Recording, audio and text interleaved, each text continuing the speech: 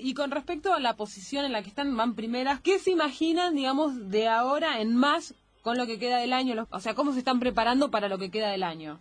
Eh, mira, nosotras sabemos que los dos partidos que nos quedan, eh, porque nos tocan las dos fechas libres al final, los tenemos que ganar sí o sí.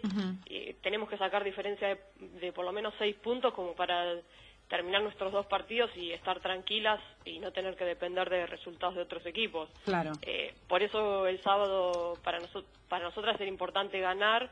Vos sos un dos, un dos aguerrido, habilidoso, ¿cómo te definís? No, habilidoso no, eso seguro que no.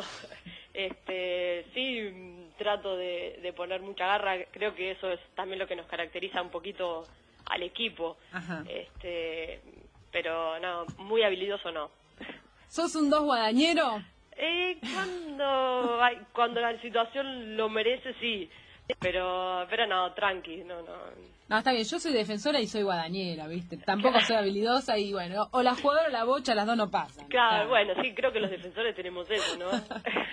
Sí, sí, sí. Ustedes tienen eh, una jugadora que ha metido bastantes goles, ¿no? sí, Agustina. ¿Esos goles son de jugada o tiene magia en el córner corto? Eh, un poquito de las dos cosas. Creo que la mayoría de los goles los tiene de jugada. Eh, y también ha, ha metido de córner corto, así que es peligrosa de los dos lados. Así que si te, si te cruzas con ella, decís, bueno, que no me toque un corto, pero también la tenés que marcar como loco porque se te escapa y te... Eh, sí, eh, creo que, que sí, que tiene de- un poquito de las dos cosas. Eh, en los cortos por ahí lo compartimos, um, los comparte un poquito conmigo, pero, pero sí, creo que más que nada en jugada es más peligroso.